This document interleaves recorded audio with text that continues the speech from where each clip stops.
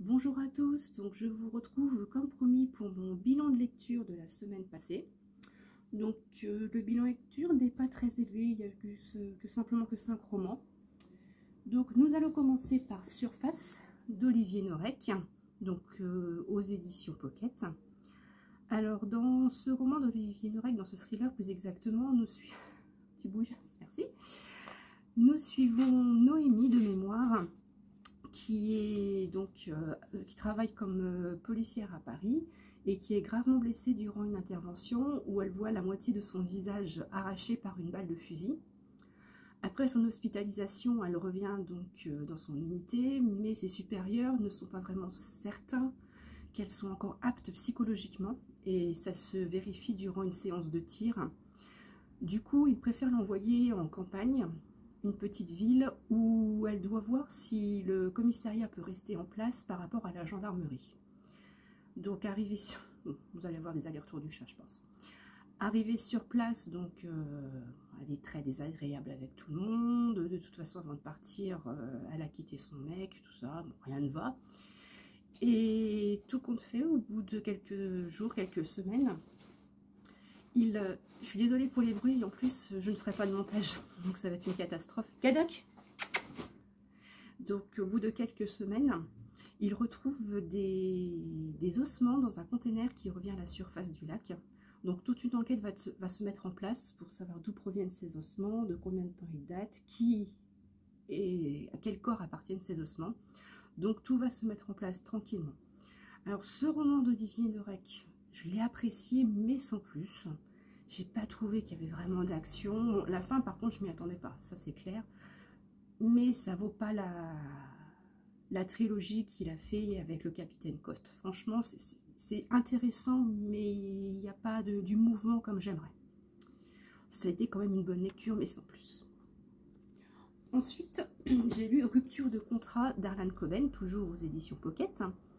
Alors dans ce roman, nous suivons Myron Bolitar. D'ailleurs, c'est le premier tome de la saga euh, Myron Bolitar, qui est agent sportif. Avant, il était sportif de haut niveau, il est passé par la case FBI. Et là, donc, il s'est reconverti en tant qu'agent sportif. Et sous son aile, il a Christian Steele, un, quarterback. Néanmoins, euh, il y, a il y a 18 mois, la compagne de Christian Steele euh, et accessoirement la belle-sœur, l'ex-belle-sœur de, de Myron a disparu. On ne sait pas ce qu'elle est devenue. Et puis l'affaire se revient un jour. Une photo euh, légèrement dénudée de, de sa belle-sœur, de son ex-belle-sœur revient. Toute une enquête se remet en place et du coup, la police ne rouvre pas l'enquête, mais lui de son côté refait l'enquête avec son ex-petite amie Jessica, la sœur de la disparue. C'était assez intéressant, c'était la première fois que je lisais du Harlan Coben.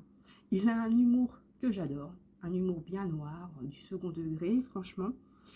Et c'était, voilà, il, faisait une petite enquête sans non plus euh, jouer les, gros bras comme on peut voir dans, dans certains romans.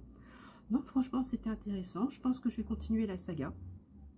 Donc, j'ai vu qu'il y avait quand même pas mal de volumes dans la saga, donc on va y aller tranquillement. Mais franchement, c'était un bon moment de lecture. Euh, une écriture très fluide. Franchement, j'ai bien aimé. Ensuite, j'ai lu Le violon d'Auschwitz. Merci Kadok. Donc, comme euh, dans le premier vlog, je vous disais que j'avais découvert le tatoueur d'Auschwitz et que je voulais en, connaître plus sur cette période, j'ai décidé d'acheter ce petit livre d'occasion. Par contre, j'ai pas...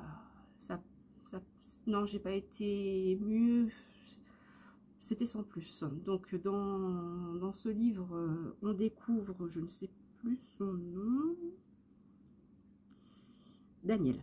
Voilà. Et il fabrique un, suite à une altercation entre guillemets avec euh, les nazis, il fabrique un violon à la demande d'un des grands, des grands chefs nazis, un des grands commandants. Et toute l'histoire se déroule là-dessus, sur la fabrication du violon. Je sais pas, on, je vais pas dire que c'était trop, trop doux par rapport à l'époque, mais j'aurais voulu en connaître plus sur ce qui se passait réellement dans le camp. Et là, on est vraiment centralisé sur le personnage, sur l'histoire de ce violon quand même. Mais non, il y a certaines choses, je trouve, pas enjolivées, mais on adoucit la période. Alors que c'est une période qui était catastrophique, tout le monde le connaît, et qu'on aimerait en apprendre plus. ça se lit bien quand même, il est très très court. Mais voilà, c'est pas une lecture qui restera en mémoire. Ensuite. Euh, c'est grâce à une vidéo de Séverine de la chaîne Il est bien ce livre que j'ai découvert euh, ce roman de David Van Komodo. Donc comme je vous disais, c'est la première fois que je lis du David Van et j'ai bien aimé. Son style d'écriture est percutant, certes. On sait que l'auteur a vécu quand même quelques drames dans sa vie. Alors dans cette histoire, euh, c'est une histoire de fratrie. Donc il y a Roy, le frère, qui est parti sur l'île de Komodo où il est en train de faire un monitorat de plongée. Et il invite sa sœur, Tracy, ainsi que, leur mère, pour des vacances. Le problème, c'est que Tracy a une vie, on va rester poli, catastrophique. Et elle fait payer aux autres sa vie de désespoir. Elle en veut à son frère parce qu'il a divorcé. Euh, oui, mais moi j'aimais bien ma belle-sœur. Donc elle se fiche de ce qui pouvait se passer éventuellement entre son frère et sa belle-sœur. Elle est très très égoïste, très égocentrique. Et franchement, j'ai pas du tout euh, adhéré au personnage de Tracy. Moi, j'avais qu'une envie, c'était de la baffer de toute façon. Donc, euh, à chaque fois, Tracy, elle envoie des piques à son frère, mais devant les autres. Euh, elle, elle, fait oui, moi je passe ma vie à, m'occuper de mes enfants depuis 5 ans, j'ai plus de vie. Toi, tu te sépares de ta femme qui était géniale, c'était comme une sœur pour moi. Elle fait tous les reproches possibles et imaginables à son frère. Même sa mère, elle ne sait plus quoi faire. Euh, elle est désespérée, la pauvre maman. Et au fur et à mesure que, le roman se déroule, euh, la méchanceté pour moi de Tracy se développe. Et bien alors à la fin, c'est même une catastrophe. D'ailleurs, la fin, j'ai pas trop aimé. Par contre, ce qui est génial dans ce roman, ce sont les moments de plongée sous-marine. Franchement, on a l'impression d'être avec les personnages L'auteur décrit tout ce paysage sous-marin, tout, ce qui est des petits poissons, tout ça. On a l'impression de s'évader. Comme je vous disais dans mon dernier vlog, j'ai jamais fait de plongée sous-marine, jamais. Mais j'avais l'impression d'y être, d'être en apnée avec les personnages, d'être dans un, état d'apesanteur. C'était vraiment magnifique. Et, pour moi, pendant ces passages-là, plus rien n'existait. J'arrivais à faire le vide autour de moi. Franchement, rien que pour ça, je le conseille, ce roman, pour le dépaysement. C'est un très beau roman. D'ailleurs, j'ai investi dans le premier roman, je crois que c'est Au-delà du bleu. Je ne sais plus exactement le titre, que j'espère lire au mois d'avril. Mais vraiment, c'est une valeur sûre. Si vous voulez vous évader, et puis c'est vraiment une histoire de, fratrie. Donc, euh, souvent dans les histoires de fratrie, il y a des hauts, des bas. Bon, là, il y a vraiment plus de bas que de hauts. Hein, ça, c'est clair et net. Il euh, faut prendre sur soi pour supporter le personnage de Tracy. Comme je vous dis, euh, moi, je l'aurais presque noyé à un moment. Mais bon. C'est une très bonne lecture et je remercie encore Séverine pour ses, conseils lecture qui sont vraiment très intéressants et souvent elle a des coups de cœur et ces coups de cœur, je ne vais pas dire sont systématiquement les biens, mais j'accroche bien dans, ses lectures. Et pour terminer, on finit sur mon coup de cœur du mois de mars. Vraiment mon très très beau coup de cœur, Le souffleur des nuages.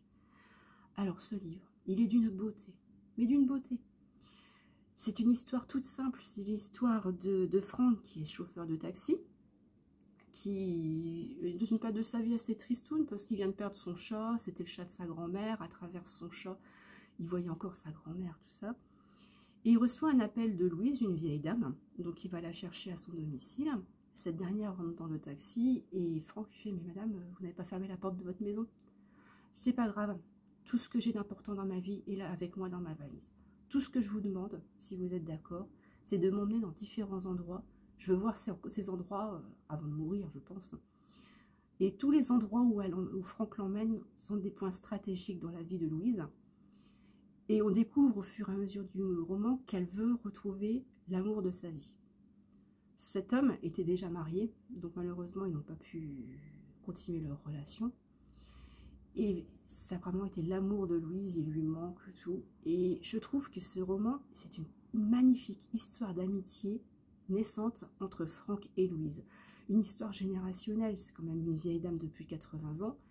Et, et Franck se prend d'affection pour lui. Alors je pense qu'il se prend d'affection parce qu'il a perdu également sa, grand-mère. Il y a tout un rapport euh, psychologique entre les deux personnages. Mais c'est magnifique, il y a il y a des, citations de l'auteur, mais j'ai envie de, les imprimer, de les encadrer. Elles sont très belles. Franchement, j'ai passé un super beau moment de lecture et je vous le conseille vivement. C'est pas triste. On pourrait croire que oh, ça va être tristouné, mais pas du tout. Mais c'est vraiment très, très, très beau. Et moi, j'avais le sourire en lèvres en lisant ce livre. Et, et chouette que beaucoup de personnes se le procurent et qu'ils aient cette même sensation en le lisant. Franchement, Fleuve Édition, euh, il y a vraiment des très très beaux romans. J'avais lu également Le Carnet des Silences. dans Le Carnet des Silences, il y avait un personnage qui me dérangeait, mais l'histoire était très belle également. Non, vraiment, je vous le conseille. Très très bonne lecture. Alors, sur ce, je vous souhaite une bonne fin de journée. Et je vous retrouve, je pense, euh, fin avril pour faire mon bilan lecture d'avril. Pour l'instant, j'ai commencé deux romans que je terminerai certainement en avril.